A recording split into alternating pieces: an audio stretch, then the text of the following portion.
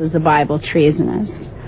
Well, in this mock hearing, when it finally came to its closure for Joseph Smith, for Caleb Baldwin, Alexander McRae, Sidney Rigdon, Hyrum Smith, they were then sent to a place called Liberty Jail.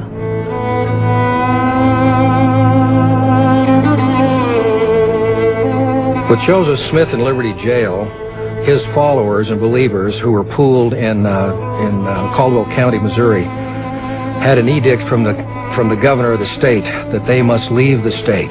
Those people negotiated with some of the military officers that were uh, on on the grounds and had until spring in order to leave.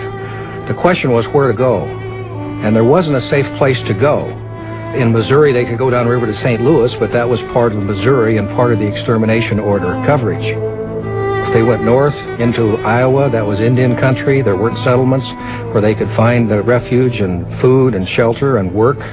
And to the west was Indian territory.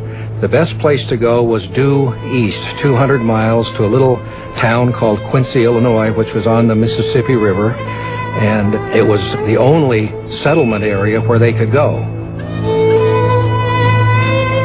So Quincy is the logical community for many reasons. Not only did it have a sizable population, about one third the size of the oncoming tidal wave of Latter-day Saints, but it was also well known as a humanitarian center on the Underground Railroad. Perhaps Quincy would be the place that would best service the Latter-day Saints. With church leaders in jail, we had a pool of about 7,000 Latter-day Saints in Caldwell County who needed to leave the state. They were given until spring by the military authorities. We have a refugee camp that has monumental proportions in the far west. For example, Lucy Mack Smith's front yard had beds and tents full of refugees. People didn't have enough shelter. They couldn't get back to their farms to get food. They were in a very destitute situation. The leadership uh, of the church in that area devolved upon Brigham Young and Heber C. Kimball. They organized a committee of removal. This committee looked at uh, the saints and surveyed the saints to see who needed help. They made members of the church pledge and promise that they would do everything in their power to move the poor. This pledge becomes a key pin in the story of Mormon migration ever after that. Joseph must have worried immensely as he sat in the prison at Liberty about how his wife and children were going to get out of Missouri. Of course, there were many friends who supported the Smith, and in this case, Jonathan Holmes and Stephen Markham stepped forward to help Emma load her wagon and take her children to travel uh, the journey to Quincy, Illinois. They had two horses, their horses, Jim and Charlie. Emma had four children, a young baby, a two-year-old, and Julia and Joseph, who were older, and they made the trek. I often think Joseph must have been grateful that he married a bold and independent woman and had faith in her that she could survive such difficult circumstances. And they were difficult, even with help. When they arrived at the Mississippi on the 15th of February in 1839, Emma and the children got off the wagon. She took the two babies in her arms, Alex and little Freddie, with Julia and Joseph clinging to her skirts. She crossed the ice of the Mississippi River to get into Quincy.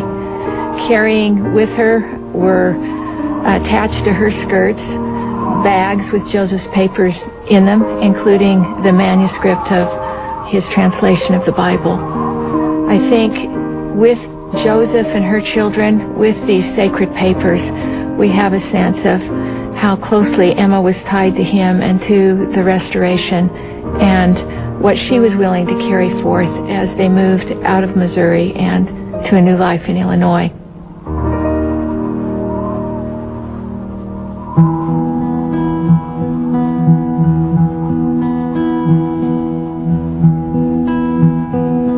In 1838, before the Mormon War broke out, Joseph Smith received a revelation that the Quorum of the Twelve should go on a mission to England, that they should leave on April 26, 1839, from the far west temple site. After the Mormon War and after the exodus from Missouri, and as the saints were in a destitute situation, And also, as the Missourians were still hostile towards the Latter-day Saints, the 12 in Quincy knew they had to fulfill that prophecy.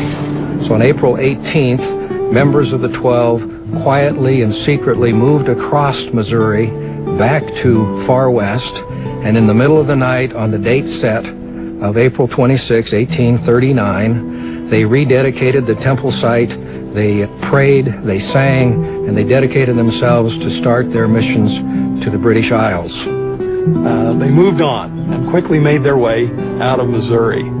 This essentially marks the end of the chapter of the Latter-day Saints in Missouri because those saints who were left over in far west followed the 12 out of the state. As the exiled saints were fleeing from Missouri to Quincy, Illinois, Joseph and several other church leaders were incarcerated here at Liberty Jail. Contrary to its name, Liberty Jail did not mean freedom for the prophet Joseph. He and fellow prisoners remained here for months and experienced deplorable, even despairing conditions. For example, there wasn't any heat, adequate bedding, or outhouse privileges, and they often had to share the space with hardened criminals.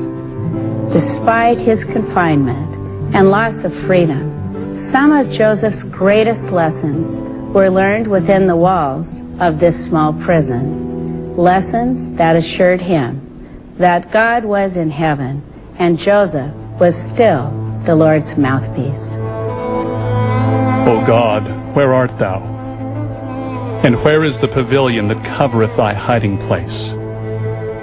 How long shall thy hand be stayed, and thine eye, yea, thy pure eye, behold from the eternal heavens the wrongs of thy people and of thy servants, and thine ear be penetrated with their cries? Yea, O Lord, how long shall they suffer these wrongs and unlawful oppressions? before thine heart shall be softened, and thy bowels moved with compassion towards them. In times of trouble for Joseph Smith, both personal and in the church, he often sought the Lord, and the Lord blessed him with comforting doctrine. Not always doctrine that even applied to the exact circumstance, but broad and sweeping doctrine that taught him important principles that would help him not only in his governance of the church, but in his personal life and in his growth as a prophet and as a member of the church. That's no more evidenced than in Liberty Jail when he and colleagues spent miserable time there. The Lord revealed to them sublime doctrines of the priesthood that no influence could be maintained other than through kindness and gentleness and love unfeigned.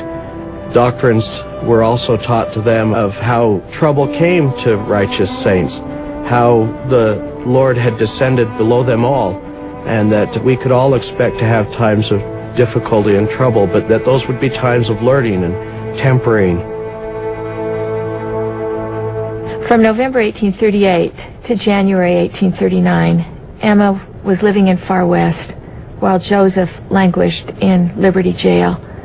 She was able to go visit him on two or three occasions, taking Joseph III with her at least once.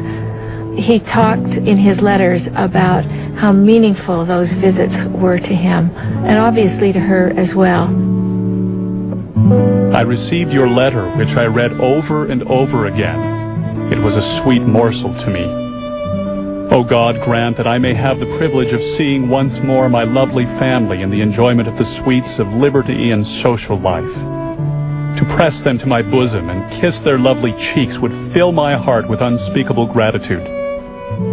Tell the children that I am alive, and trust I shall come and see them before long. Comfort their hearts all you can, and try to be comforted yourself. I shall not attempt to write my feelings altogether for the situation in which you are. The walls, bars, and bolts, rolling rivers, running streams, rising hills, sinking valleys, and spreading prairies that separate us. And the cruel injustice that first cast you into prison and still holds you there with other considerations places my feelings far beyond description. Oh, my affectionate Emma, I want you to remember that I am a